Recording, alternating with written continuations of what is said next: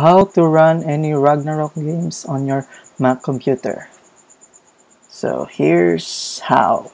So first we need uh, to download two things. So first one is the we have the Wineskin Winery app. So I'll provide a link on my video description. Then also we need the client installer for our Ragnarok game. So uh, we can download the uh, client installation files on the um, the private server websites. Okay, so for example, we have Vanro, so we have to download it uh, on the uh, Vanro website. Okay, so after downloading the two files, I already have both files on my Mac computer. So what we need to do is open the Wineskin Winery app. So just double click. Okay. So after opening, um, we can see this um, interface. Just click on the create new blank wrapper. Okay. So okay, again. So I think this one is working. So just click create a new blank wrapper then we, we put a name to our wrapper so for example uh, Vanro uh, Vanro okay Vanro Vanro Mac. Okay. So then click OK. So that's our wrapper Vanro map that up then we will have to wait some time um, until uh, the wineskin is done setting up our wrapper okay so let's just wait. A few moments later.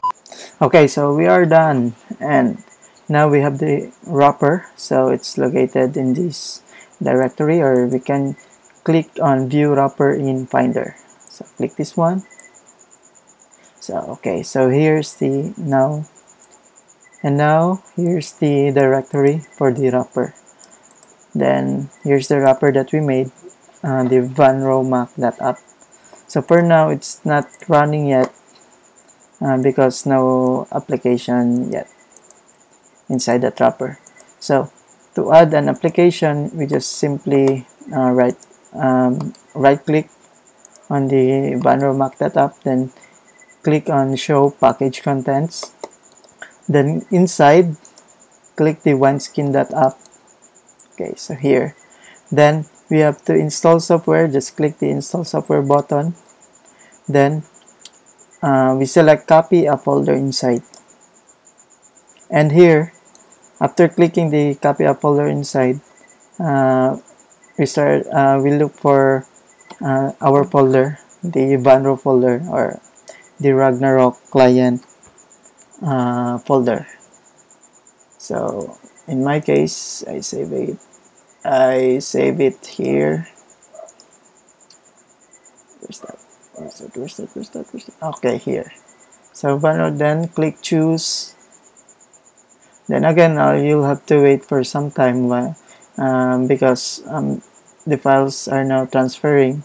A few moments later. Guys so after moving all the files to our wrapper um, something pops out like this one um, so in this interface we will have to set up our executable file. Um, so what we need to do is just select um, the the executable file or the .exe file uh, that we are going to use to run um, Vanro okay? So in for Vanro's case, we have to select this one, the play vanro.exe. Select that one, then click OK. Then that's it. So after that, uh, you can uh, after that you can quit and just you can double click on the app. Okay. Then after double clicking, so that's it. So it's running then you can third update uh, you can just um, press start. So that's it. And also um, you can also customize uh, just right click on the wrapper then click again the show package contents then click on the wineskin app then advanced click on the advanced. You can uh, customize here uh, the .exe files so that's it. And okay thank you. Bye